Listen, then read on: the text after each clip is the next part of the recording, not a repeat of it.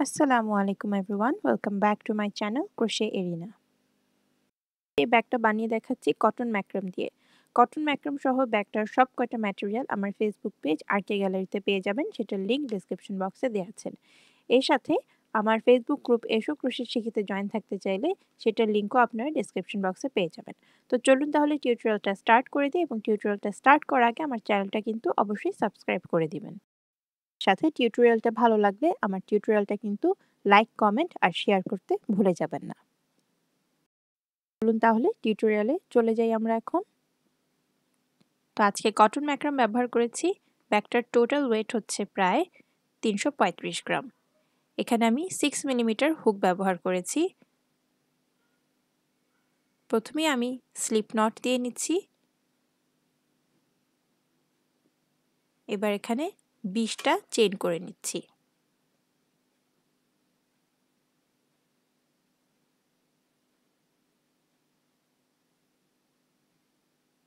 বিশটা চেন করে নেওয়া শেষ। এখন একটা এক্সট্রা চেন নিলাম, নিয়ে এবার দুই নম্বর ঘর থেকে শুরু করে প্রত্যেকটা ঘরেরই আমি ব্যাক টোপে কাজ করব। তো দুই নম্বর ঘরে আমি একটা স্লিপ স্টিচ করছি। তারপরের ঘরে আমি একটা হাফ ডাবল ক্রোশে করছি।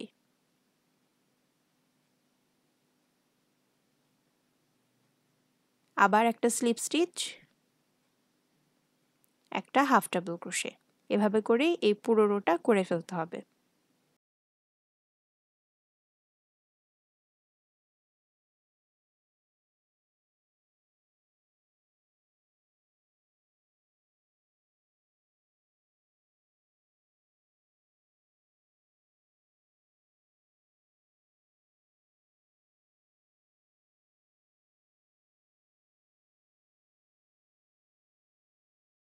প্রথম রো করা শেষ।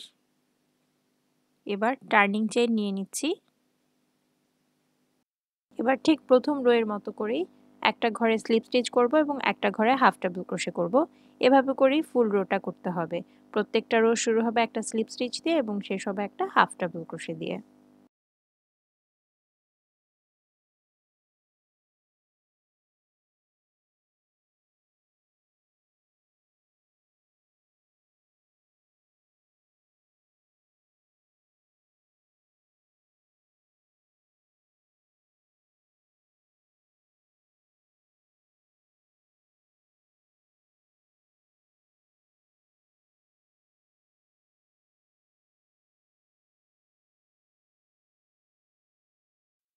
মোট একাত্তরটা রো করে ফেলেছি।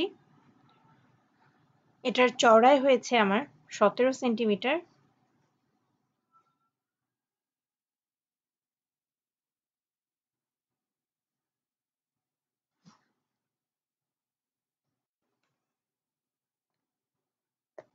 এটার লম্বায় হয়েছে আমার চুয়ান্ন সেন্টিমিটার।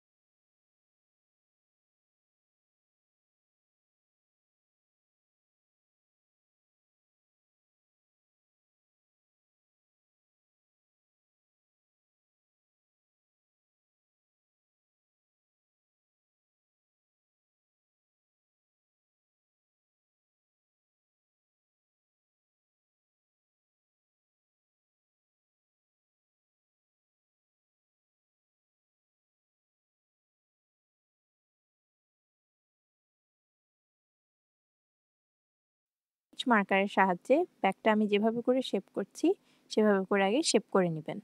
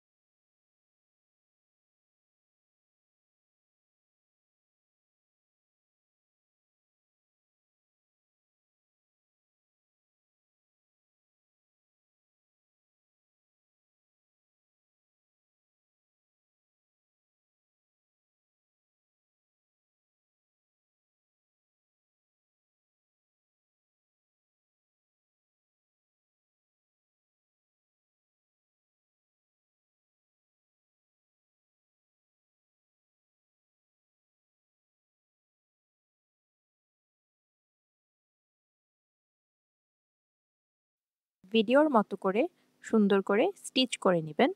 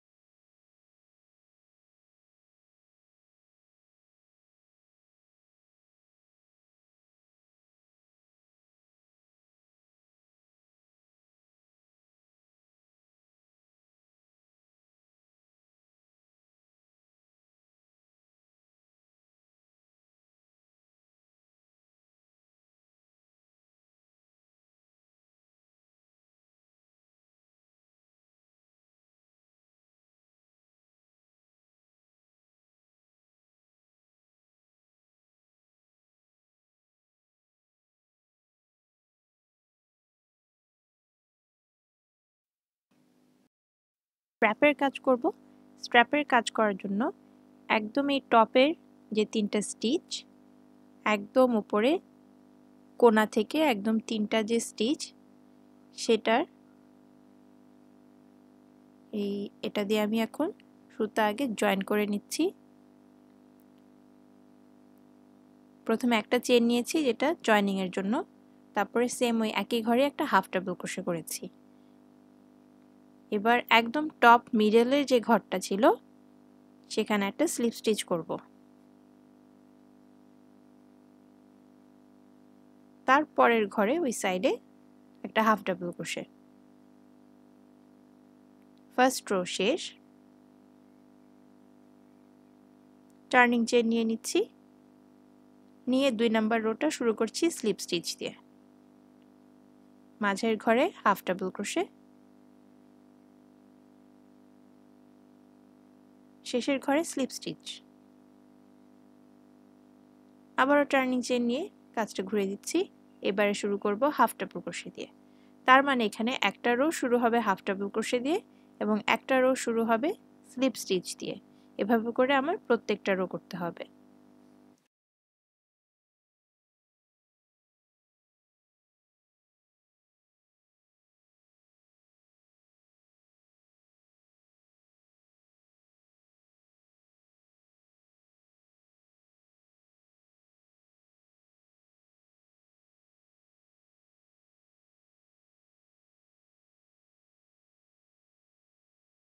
আমি মোট তেষট্টিটা রো করে ফেলেছি। এখন ওই সাইডে আমি জয়েন করব। এখানেও একদম টপ মিডলের তিনটা স্টিচ দিয়ে আমি জয়েন করব। একদম মাঝখানের ঘরের আগের ঘর দিয়ে আমি এভাবে করে আগে লুপটা ঢুকিয়ে নিচ্ছি।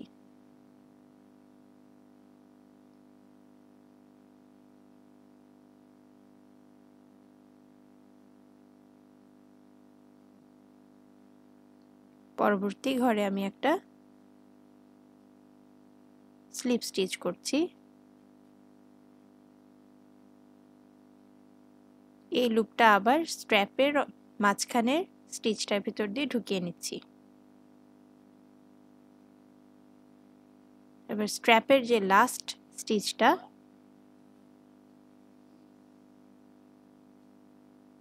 সেটার ভেতর দিয়ে আমি স্লিপ স্টিচ করে নিলাম।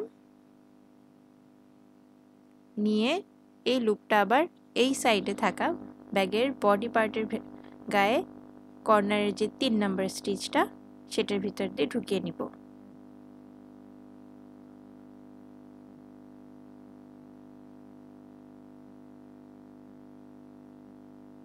তো আমার স্ট্র্যাপটা এভাবে বুনানো শেষ। এখন আমি বাকি অংশটা নিডেল দিয়ে সুন্দর করে ফিনিশিং দিয়ে দিব।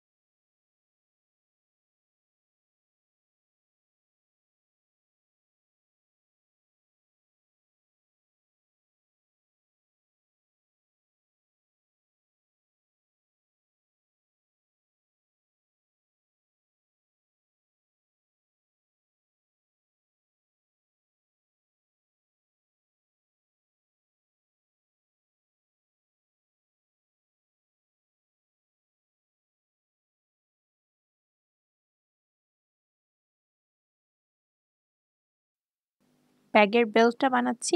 বেল্ট বানানোর জন্য প্রথমে একটা স্লিপ নট করে মোট পাঁচটা চেন নিয়ে নিব।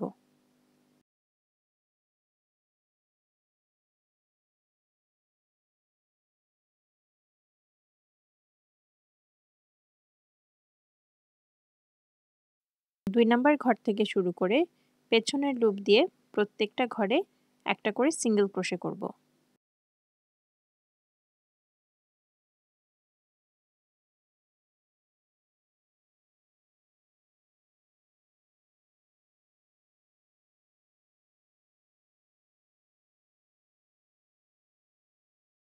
নাম্বার রো শুরু করার জন্য প্রথমে একটা টার্নিং চেন নিয়ে প্রত্যেকটা ঘরে একটা করে সিঙ্গেল ক্রোশে করব।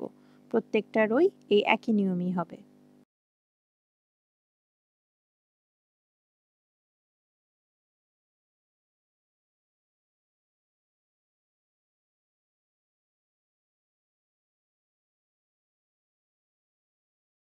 মোট চোদ্দটা রো করে ফেলেছি। এবার ভিডিওর মতো করে চারিপাশ দিয়ে একটা করে সিঙ্গেল ক্রোশে করব।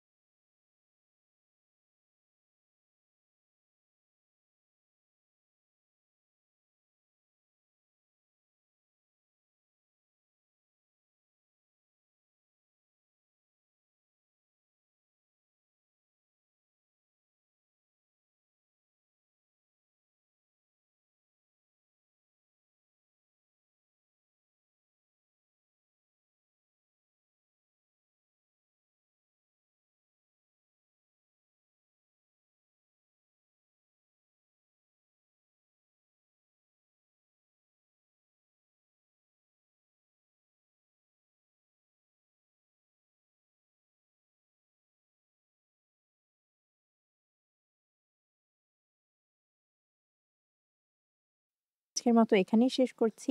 ব্যাগটা চওড়া হয়েছে বাইশ সেন্টিমিটার এবং লম্বায় হচ্ছে সতেরো সেন্টিমিটার। ইনশাল্লাহ নেক্সট টিউটোরিয়ালে আবার একটা নতুন ডিজাইন নিয়ে আপনাদের সাথে দেখা হবে। So see you again in the next tutorial till take care bye bye